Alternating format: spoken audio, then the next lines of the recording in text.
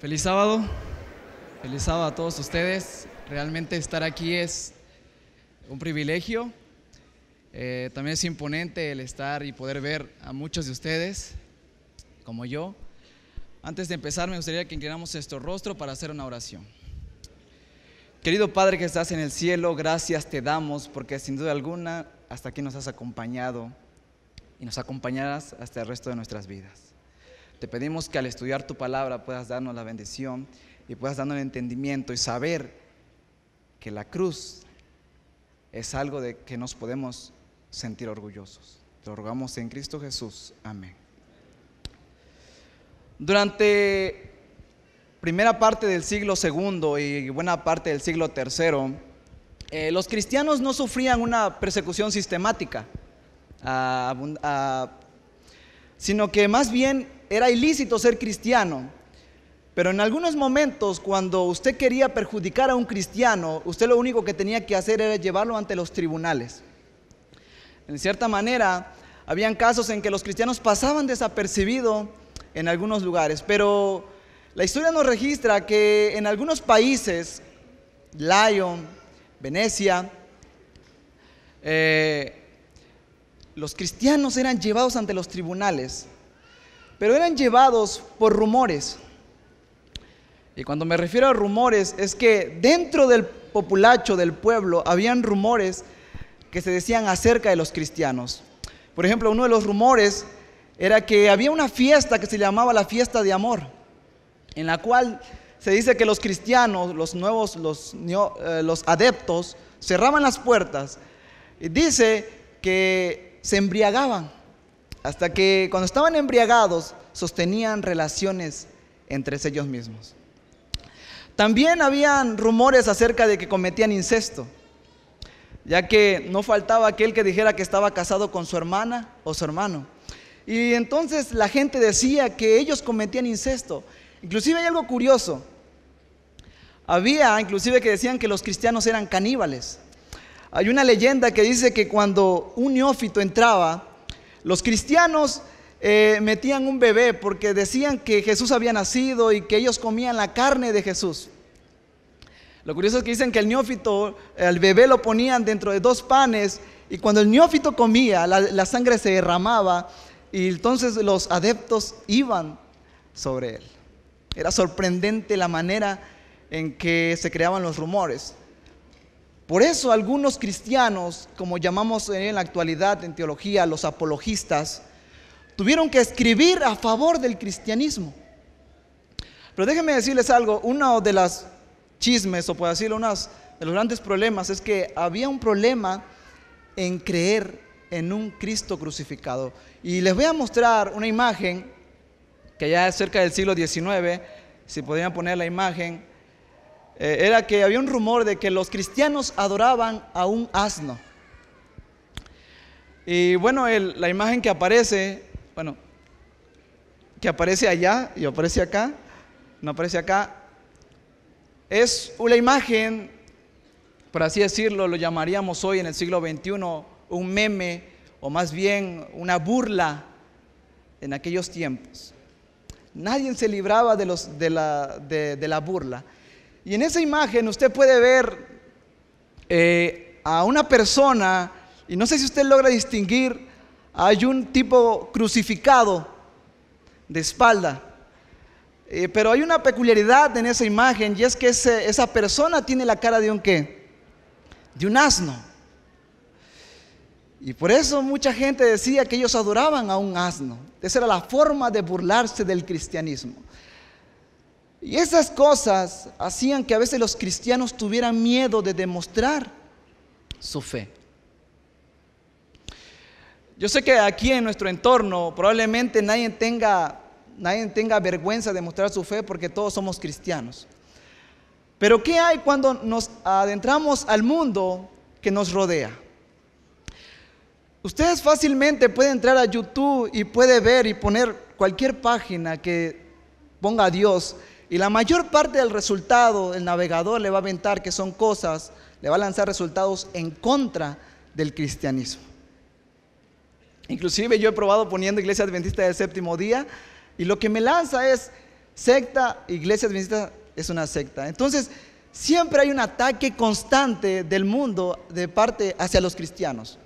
Pero ahora, me gustaría hablar de alguien, y vamos a ir al Evangelio, perdón, vamos a ir al libro de Romanos, capítulo 1. Traen su Biblia. Y los que lo tengan en su dispositivo, vamos a abrir Romanos, capítulo 1. Y esta persona, este que es muy conocido, Pablo, se dedicó en toda su vida y fue objeto de, de tal vez objeto de burla Romanos capítulo 1, versículo 16. Ahora, de antemano sabían, en, cuando usted lee el versículo 14, él dice que va a ir a visitarlos, pero dice que en Roma hay griegos y hay sabios. Y dice un comentarista, eh, Hendrickson, dice que antes de que Pablo responda, antes de que los cristianos le pregunten si tiene miedo de venir por causa de los grandes filósofos, maestros, y que si él siente vergüenza de enfrentarse con él, él responde en el versículo 16, leámoslo todos juntos, no que, no me avergüenzo del Evangelio, porque es que, ¿alguien sabe cuál es la palabra griega que se ocupa aquí en la palabra poder? Dunamis. Ahora, dice alguien que la palabra dunamis no es simplemente una palabra poder vacía, sino que necesita energía, necesita estar en acción. Y si pudiéramos parafrasear el versículo, yo hice algo así, el Evangelio es poder de Dios para salvación a todo el que pone en acción su fe. No es simplemente no avergonzarte, no es simplemente tener poder, es tener la, en acción la que. Y el libro de Hebreos está lleno de ejemplos de personajes que tuvieron una vida llena de acción. Su fe estuvo en acción. Ahora, voy a tocar otro punto. Y es que, ¿por qué un? ¿Por qué algo de vergüenza? ¿Por qué sentir vergüenza? Saben que la cruz era un motivo de vergüenza para los primeros siglos. Los voy a invitar a ir a Primera de Corintios, una vez más. Y Pablo encontraba en la cruz una fuente de poder. Primera de Corintios capítulo 1, versículo 18. Capítulo 1, versículo 18. Vamos a darle lectura y dice, la palabra de la cruz es locura a los que qué pero a los que se salvan, esto es, a nosotros, es que poder de Dios. Para Pablo, la cruz no era, un, no era un mero símbolo de sometimiento. Para Pablo era un símbolo de libertad, aunque para los romanos era un símbolo de esclavitud, para algunos pueblos. Inclusive en los tiempos del primer siglo decían que decir la palabra crucificar a alguien debería estar fuera del vocabulario de los romanos. Cicerón, un penalista, o bueno, o un político, decía algo como esto. Poco atar a un ciudadano romano es un crimen, flagelarlo es una abominación, matarlo es casi un acto de asesinato, crucificarlo es, ¿qué diré? No hay una palabra adecuada para describir una acción tan grotesca. Imagínense lo que significaba la cruz en esos tiempos. Es por eso que los judíos se enojaron contra los romanos cuando crucificaron a, dos mil judíos. Y cuando Tito también crucificó a los que se escapaban, y dice los historiadores que no había cupo para pasar y tampoco había cruces suficientes para los que escapaban. El símbolo de la cruz para Pablo era una fuente de poder, era el estandarte para él. Era un sello de libertad. Saben que él decía que la sabiduría de muchos es para muchos el tropiezo, la cruz era un tropiezo, porque chocaba con las ideas.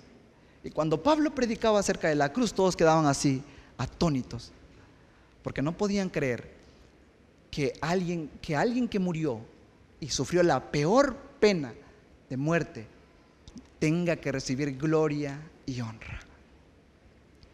Saben, queridos jóvenes, ¿Qué es lo que te podría avergonzar hoy? Y habían puesto una pregunta, ¿qué, qué, es lo que te haría sentir vergüenza? A Pablo nada le hizo sentir vergüenza. A Pablo le era poder con energía. Sentía, a pesar de llevar los grilletes, llevar las cadenas en Roma cuando llegó, sentía que de la cruz había poder. De hecho, inclusive decía versículo 23 de 1 de Corintios capítulo 1, para nosotros predicamos a Cristo crucificado. A ese predicaba Pablo. Saben, yo te invito, querido joven, a que como los romanos en aquellos tiempos decían que su estandarte era un águila, y los romanos, de hecho ese estandarte fue creada por Marco Licinio Craso, un comandante que quiso poner una imagen y creó el símbolo del águila. Y cada vez que las legiones salían, el águila iba delante de ellos.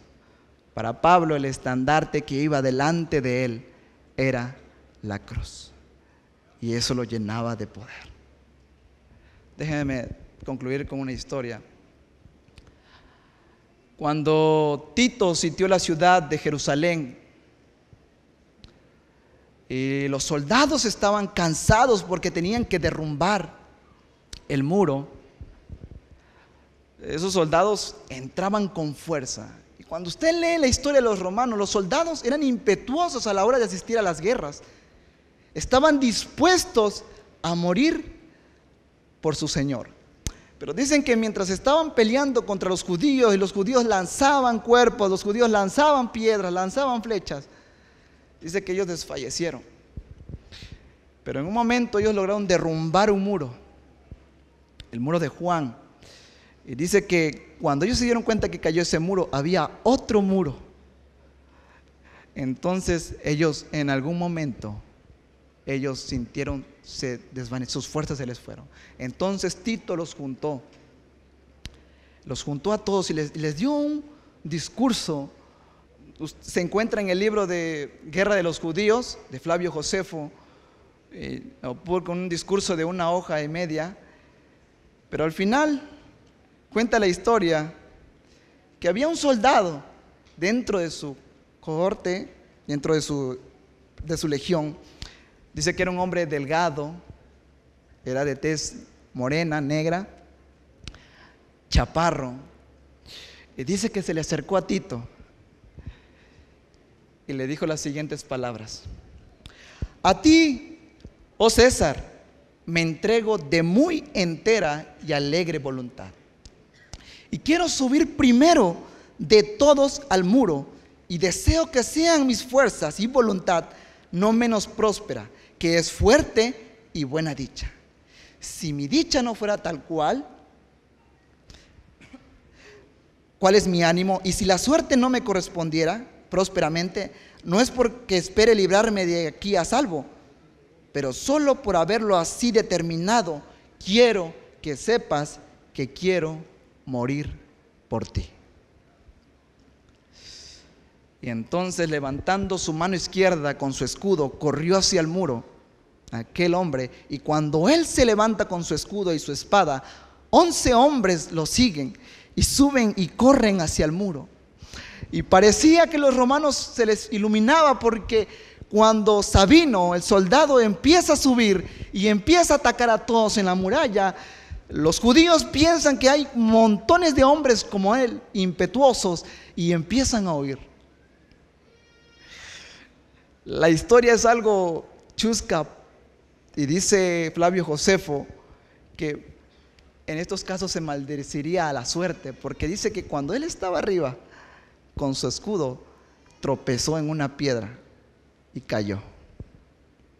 Y cuando los judíos vieron que se cayó y tropezó, agarraron las flechas y lo empezaron a pedrear y a tirar las flechas.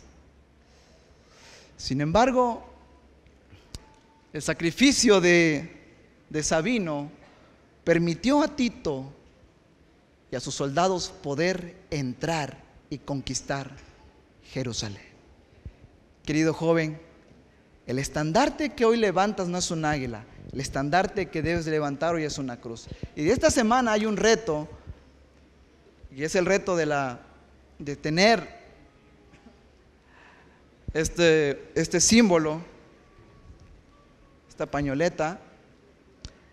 Cuando salgas, tal vez los que van a ir a colportar y se la tienen que poner y pregunten, ¿qué es esto? ¿Qué significa para ti? No intentes quitártela simplemente, o no te la pongas simplemente porque está de moda. Póntelo porque realmente significa algo para ti. Y como Pablo, saber que la cruz es poder de Dios. Queridos jóvenes, los invito a que podamos poner por estandarte la cruz como lo hizo Pablo. Y es verdad que la cruz fue un instrumento de tortura en cierto tiempo que se clavó aquí. Pero también la cruz tiene una parte vertical que apunta hacia arriba y apunta hacia el cielo. Que el Señor los bendiga.